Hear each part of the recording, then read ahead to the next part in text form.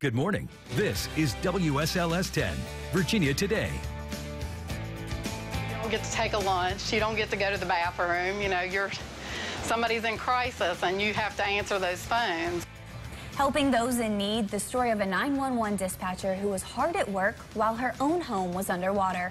Plus a change that's the first of its kind in more than three decades for the Miss Teen USA pageant. What will be missing and the reason for it. Good morning and thanks for starting your day with us here on Virginia Today on WSLS 10. I'm Patrick McKee. And I'm Erin Brookshire. Jenna Zibton has the morning off. Now, a chance for showers in the day had changed from yesterday's beautiful weather. It was good for getting some outdoor chores uh -huh. done uh-huh. yesterday. Now we can uh, get some water on the plants again. Exactly. Give you, or give it over to Christina now in the Weather Center with an update to see who sees the best chance for some rain. Christina, good morning and happy Thursday to you. Good morning. Happy Thursday. Starting out dry. Best chance to see those stronger thunderstorms, mainly the south side, Lynchburg area, but all of us have a shot at a couple of those pop-up thunderstorms this afternoon. Starting out partly cloudy, temperatures in the middle 60s, low 80s by noon with more clouds rolling in. Lower 80s for highs. A couple of us pop into those mid 80s, but with the showers and thunder showers developing, temperatures are going to pretty much stop rising out after the noon hour. We are starting out dry, but those showers and thunder showers are developing just off the coast. That is where we have a little area of low pressure developing. That is going to be our storm maker for this afternoon. Coming up at 640, I'll break our forecast down hour by hour. I'll have your seven day outlook. Then we share the picture of the day. Checking in with our time saver traffic system. Here are some of your drive times into the Roanoke area this morning. North on 81 from Christiansburg, 23 minutes.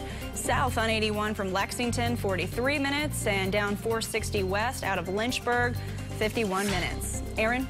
Thank you, Christina. The recovery process continues this morning as we mark the one-week anniversary of the devastating floods in West Virginia. Lawmakers will travel to some of the hardest hit areas today to assist those victims. On Wednesday, the governor expanded the number of counties eligible for federal disaster aid, which will help more victims get back on their feet. Meanwhile, volunteers from near and far continue to offer their support. It's phenomenal. Just, there, is, there are no words you can't you can't say thank you enough for something like that. You just can't. The floods that hit both West Virginia and Alleghany County affected hundreds of people, including rescue workers trying to help others fight through it. Now, this includes a Covington 911 dispatcher who continued to help others as floodwaters destroyed her own home. WSLS 10's Rob Manch has her story. 911 dispatcher Diana Patterson was answering distress call after distress call last Thursday night, only to find out that her own home here on West Fudge Street was also underwater. But instead of panicking, she came, grabbed her things, and went back to work. Diana Patterson walks through her house Wednesday, her floors and everything that was sitting on them destroyed by the waters of the Jackson River nearby. When she got the call that her own house was flooding, she left to save her medication and her dog, but was quickly back answering phones. We have multiple 911 lines, we have multiple admin lines, and every every person in that room was answering call after call after call after call. I was I was more worried about our first responders. I wasn't so much worried about my house. Patterson says it'll be a long time to get back to normal, but she feels blessed all the same.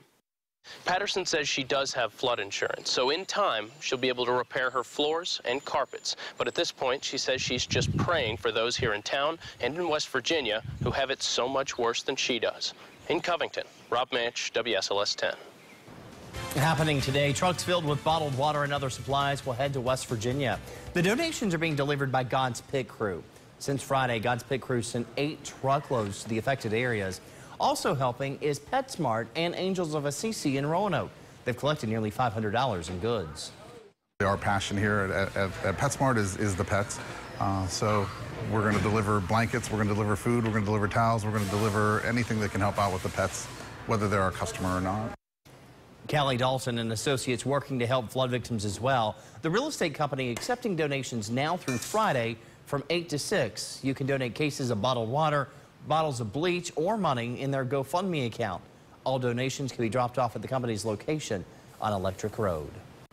The legal process moves forward for suspended Virginia Tech football players Adonis Alexander and Houshun Gaines. Both players received 12 months probation and will be required to complete 24 hours of community service after being charged with marijuana possession back in April. The two players remain on indefinite suspension from the football team. The pair have also received probation from Virginia Tech Student Conduct Committee.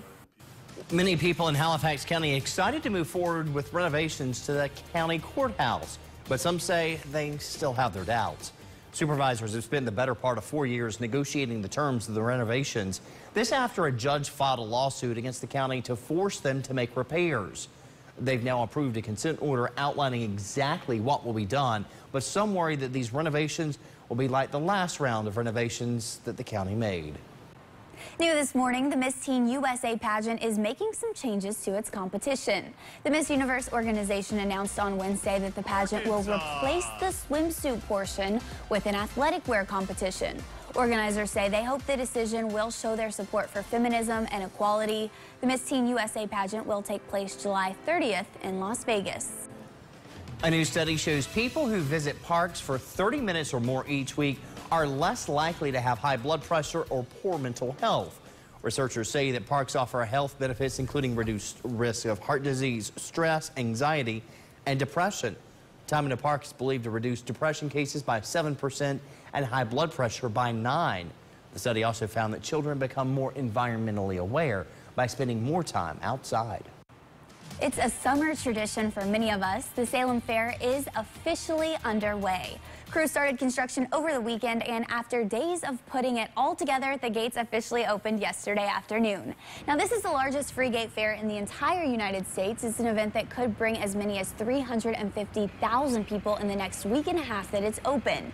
This year, there are nearly 40 rides, dozens of vendors, and even some new attractions like a sea lion show and a one-armed juggler.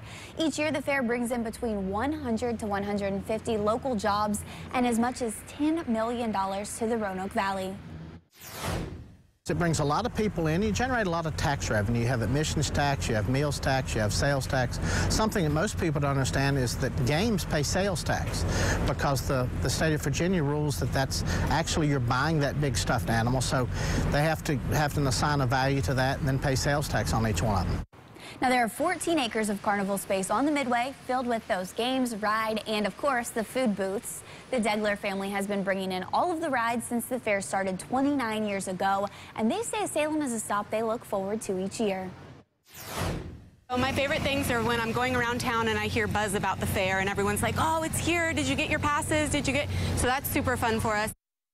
Now, there are some different promotions each night to help save you money. Tonight, a family of four pack of wristbands is just $50 until 6 p.m. Good deal, and a lot of folks going to be heading out to the fair here for the next couple of days.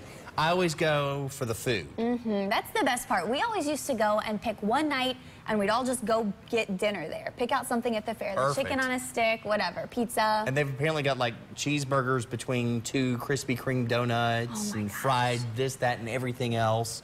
The they do have some healthy options though this year too. So if you're good. looking for that. The funnel cakes, not so healthy, but the funnel Mhm. cakes are always my favorite. Yeah, those are you? delicious.